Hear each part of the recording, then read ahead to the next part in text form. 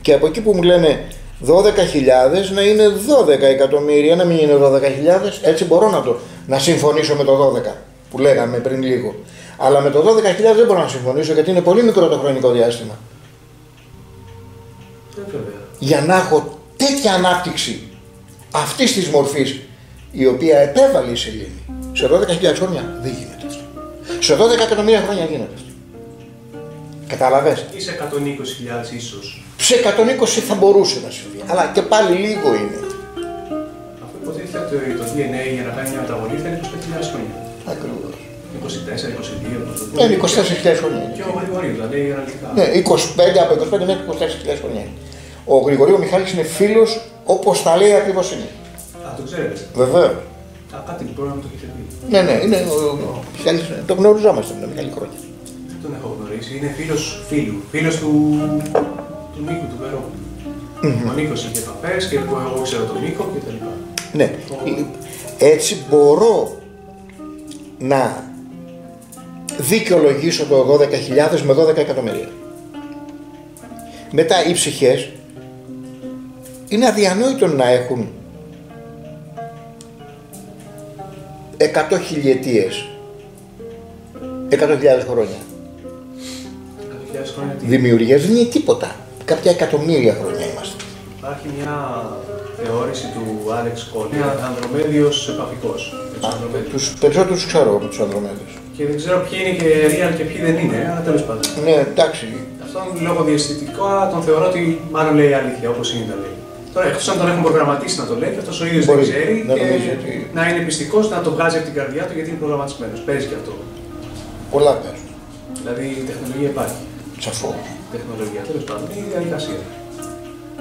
Ε, ο οποίος λέει ότι εμείς αρχικά ήμασταν όντα 11η διάστασης και ή το επιλέξαμε εμείς ή κάτι παίχτη και ξαναγυρίσαμε πίσω στην τρίτη διάσταση.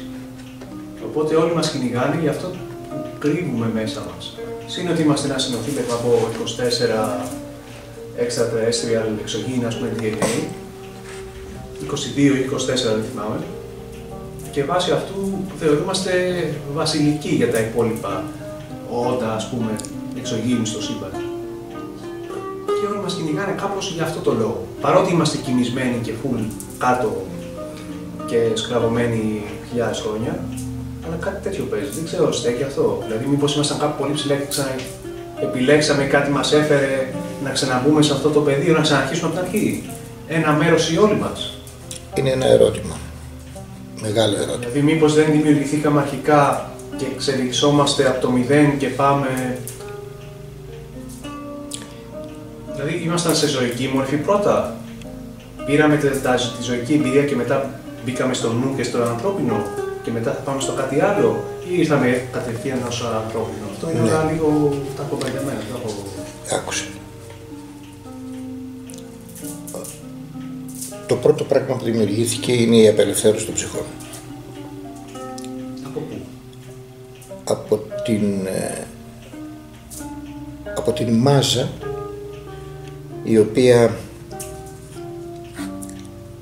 παρέδωσε η γέα και ο ουρανός στον Δία.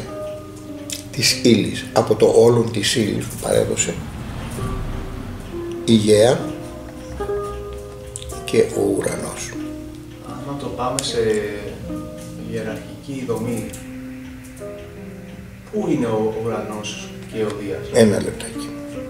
σε σχέση με το, με το απόλυτο, με την αρχή, με το, θε- με το τέρμα θείο, ξέρω, τον αρχιθεό, πώς να το πούμε. Το μπαν δημιουργό λες. Ναι, αυτό.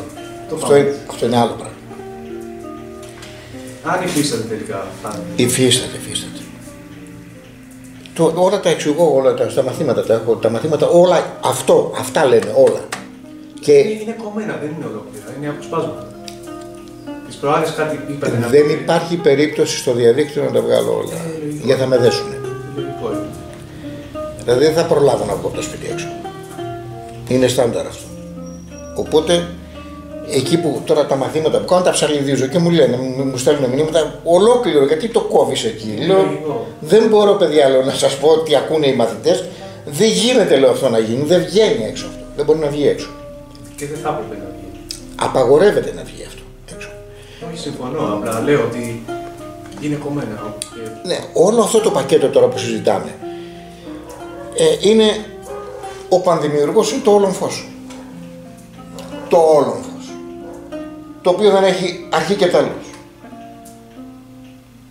Είναι αυτό που δεν έχει τέλος. Αλλά ούτε και αρχή. Ούτε και μέση. Είναι το πάνω. Δεν μπορεί ο νους να το συλλάβει ο δικός μας. Ο δικός μας έχει μάθει σε όρια και αυτά τα όρια τα καθορίζει η γέα. Σε αυτή την αντίληψη τουλάχιστον που είμαστε. Ναι. Γιατί μπορεί και στη γη να ξεπεράσει μια αντίληψη και να το συλλάβεις. Αυτό είναι μια άλλη υπόθεση. Εκεί φτάνεις, Όσο μπορείς για τα δεδομένα της ψυχής σας. φτάνεις, εκεί φτάνεις στο επίπεδο της μοίησης των Ασκληπιάδων, όπως μοιήθηκε και ο Πυθαγόρας, όπως έχουν μοιη- μοιηθεί όλοι αυτοί. Η τελευταία σχολή των Απολωνίων ήταν οι Ασκληπιάδες, η τελευταία σχολή, η οποία διατηρήθηκε αυτεξούσια, χωρίς παρεμβάσεις, Η Απολώνη είναι προγενέστερη των προγενέστερη. Α, ναι.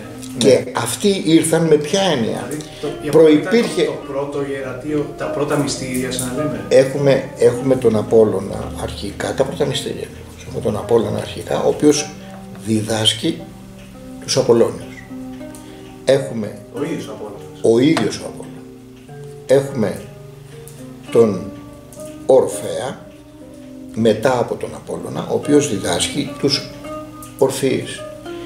Παράλληλα έχουμε και τον Ασκληπιό, ο οποίος διδάσκει τους Ασκληπιάδες. Ο Ορφέας με τον Ασκληπιό είναι παράλληλοι, είναι η ίδια περίοδος. Ακριβώς η ίδια περίοδος. Θα τα πούμε αυτά, θα τα εξηγήσουμε Θα δούμε, ναι, στα... θα- με λεπτομέρειες όλα. Λοιπόν, αυτή η τριάδα τώρα ολοκληρώνει όλο το φάσμα της διδασκαλίας. Βάλετε ο Ορφέας, αυτός που δεν βλήθηκε ήταν ο Ασκληπιός. Από ανάγκη δεν βλήθηκε ο Ασκληπιός. Γιατί τον είχαν ανάγκη να του θεραπεύσει. Βάλετε Βάλετε από τους εισβολείς. η εισβολή πότε πρώτο ήταν. οι εισβολείς μετά το χρυσό γένος κάνανε την εμφάνισή τους. Μετά το χρυσό γένος. Μόλις ήρθε η δεύτερη γη του ασημένιου γένους. Και από πού ήρθαν όμως; Οι εισβολείς είναι καθαρά ε, τα χειμεριακά όντα τα οποία έπλασε ο Κρόνος προσπαθώντας να διατηρήσει έστω και ένα μέρος της, ε, πώς να το πω, της, ε, της ύπαρξής του, της, ε, ε, της οντότητάς του. Να μην χαθεί, να μην φύγει. Γιατί τους στέρισαν τη σωματοδομή. Όταν, ε, όταν έκανε αυτήν την απόπειρα κατά του πατέρα του, ο πατέρας του το σπέρμα και το αίμα από το οποίο χύθηκε στο σύμπαν τότε, στον χώρο του σύμπαντος, Πατέρας κυριολεκτικά ή αλληγορικά; Ο ουρανός. Αλληγορικά, η πατέρας του ή Ε, κυριολεκτικά; κοίταξε, τώρα το αλληγορικά και το κυριολεκτικά είναι μια, ένας όρος που ο πατέρας είναι ο δημιουργός. Εγώ το βλέπω έτσι. Προγενέστερος χρονικά θα πούμε. Ο προγενέστερος χρονικά ακριβώς. Και από κομμάτι δικό του και της γέας δημιουργήθηκε ο ουρανός, ο, ο Κρόνος. Αυτό το κομμάτι, ο Κρόνος, θέλησε ως τελευταίο κομμάτι να διαχειριστεί τα τους σύμπαντος. Οπότε ε, το Και, περι- και εκεί έκανε το λάθος. Διέπραξε ατόπιμα. Έτσι. Νομικής φύσεως ατόπιμα. Έκοψε το εδίο του πατέρα του και το σπέρμα και το αίμα το οποίο χύθηκε. Με το σπέρμα έφτιαξε την Αφροδίτη ο ουρανός και με το αίμα τους μελίες. τους; Μελίες. Αυτό όλο έφτασε να εκφραστεί από πολλούς και κυρίως από τον Ισίωδο ως η τιμωρία του, διο, του, του χρόνου. γιατί στερήθηκε ο Κρόνος πλέον της σπερματοδομή, γιατί δεν είχε απευθείας επικοινωνία με τον πατέρα του. Αυτή η σπερματοδομή ήταν η μνήμη της πρωταρχικής ουσίας, την οποία την πήρε η Αφροδίτη. Και πώς προκύψανε τα, Για- τα για- οι χήμερες; Οι χήμερες προκύψανε από το ήδη υπάρχουν τμήμα κομμάτι του με άλλα σώματα. Από άλλα σώματα. Χειμεριακά όντα. Δηλαδή πήρε ζώα και τα τους έδωσε ανθρώπινη επιμέρους μορφή και ζώου μορφή. Και μέσα τους τους έδωσε το δικό του κλόνο. Το τρίτο στοιχείο δηλαδή είναι το δικός, ο δικός του κλόνος. Οπότε, ποια είναι τα ότα αυτά, είναι ερπετοειδείς τελικά; Είναι, είναι και ερπετοειδή, είναι και ζωόμορφα όντα. Όλα τα ζωόμορφα όντα. Όπως, Όπως. Πηγάσος. Όπως οι 72 φυλές που ζουν κάτω. Είναι το ασημένιο γένος. Αυτό. Αυτοί ζουν στην κύλη γη ή ζουν στα, στο κύλη. ενδιάμεσο; Ναι, έχει επίπεδα. Στην κύλη, γη- στην κύλη γη ζουν το μεγάλο ποσοστό. Είναι ένα μπέρδεμα και αυτό, γιατί ας πούμε, ο Ναύαρχο Μπέρ που λέει στο ημερολόγιο του, άμα είναι σωστό, που έχει δοθεί στο Πολιτικό Μουσείο εδώ, στο Ναυτικό Μουσείο, λέει ότι πήγε και τον βρήκανε κάποιοι ξανθοί ψηλοί και ο διδάσκαλος εκεί και του είπε το- ό,τι του είπε τα λοιπά. Δηλαδή θα είχαν μια ωραία ανθρώπινη παρουσία. Πιο εξελιγμένη από εμάς, δηλαδή φαινόταν πιο spiritual, πιο ανεβασμένη.